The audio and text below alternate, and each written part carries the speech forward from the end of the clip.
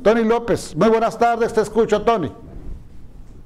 Maestro Quirrín, muy buenas tardes. Un saludo a todo el auditorio para informarles que efectivos del ejército mexicano adscritos a la cuarta zona militar implementaron ayer el plan DN3 para apoyo a la población. Esto por la tormenta que se registró el día de ayer. En un comunicado, la Secretaría de la Defensa Nacional comunicó que llevaron a cabo las acciones necesarias para proteger a la ciudadanía. Ellos realizaron labores de remoción de árboles, desasolve de coladeras, control del tránsito, evacuación de personas y trabajos de limpieza. Según los datos de la Conagua, eh, la tormenta que se registró registró este pasado miércoles alcanzó 50.4 kilómetros por hora en sus rachas de viento con acumulados de lluvia de 19.5 milímetros.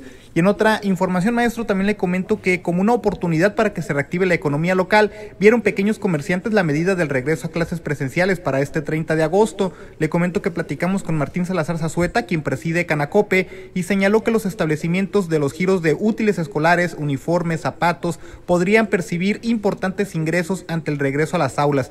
Ellos dicen que consideran que eh, estamos a miles de padres de familia ya comenzaron a comprar artículos como uniformes, mochilas, zapatos, cuadernos y que sus hijos requerirán para el regreso a clases presenciales, lo cual ya fue ratificado por las autoridades. Esta noticia dice que es de suma importancia para el gremio empresarial que continúa caminando a ritmo lento a consecuencia de la pandemia por COVID-19. Asimismo, se dijo confiado de que se apliquen estrictos protocolos para el regreso para salvaguardar la salud del alumnado y del personal docente. Ese es mi reporte, maestro. Muy buenas tardes. Gracias, muy buenas tardes, Tony López Moreno.